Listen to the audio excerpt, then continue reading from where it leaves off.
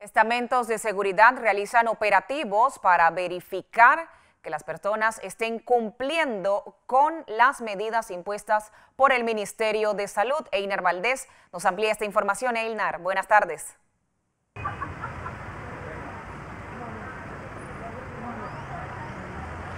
¿Qué tal? Buenas tardes. Y efectivamente sigue la Fuerza de Tarea Conjunta realizando operativos para verificar el cumplimiento de los decretos que establecen ciertas disposiciones para la movilidad de las personas en las provincias de Panamá y Panamá Oeste. Y precisamente en este momento nos encontramos con el comisionado Gabriel Arroyaves de la Fuerza de Tarea Conjunta, comisionado para que nos dé un balance de este operativo que han realizado aquí en el corregimiento de Caledonia. Muy buenas tardes, buenos días. Eh, primero que todo agradecerle la entrevista.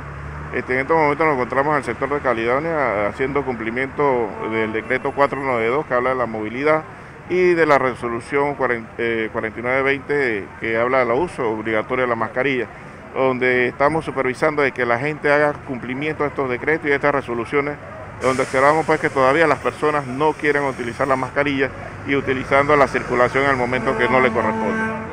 Comisionado, coméntanos un poco sobre cuántas personas más o menos se han detectado que eh, están incumpliendo estos decretos y precisamente serán conducidas a... Bueno, en este momento, ahora en la mañana solamente hemos detectado 12 personas, el operativo continúa hasta ahora en la tarde. Desde que llevamos el día, desde el día 10 de junio, llevamos aproximadamente ya 79 personas retenidas y conducidas a los jueces de paz donde han sido severamente sancionados. Precisamente, son conducidos a los jueces de paz. ¿Cuál es el procedimiento en este caso? Eh, una vez que se detecta, pues se, conduce, que son las autoridades competentes, y son sancionadas con la, multa respectiva de, la, violación de los decretos.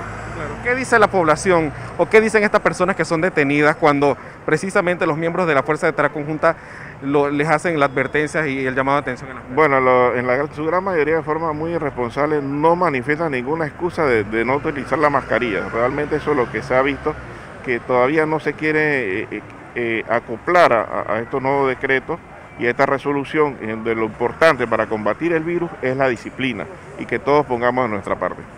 Bien, agradecemos estas declaraciones al comisionado Gabriel Arroyaves de la Fuerza de Tarea Conjunta. Importante que usted en casa siga las recomendaciones del Ministerio de Salud para evitar los contagios del nuevo coronavirus del COVID-19 precisamente. Lavarse las manos frecuentemente con agua y jabón, utilizar gel alcoholado, mantener el distanciamiento corporal y lo más importante, quedarse en casa si no es necesario salir. Es el informe a esta hora, Einar Valdés López, Next Noticias.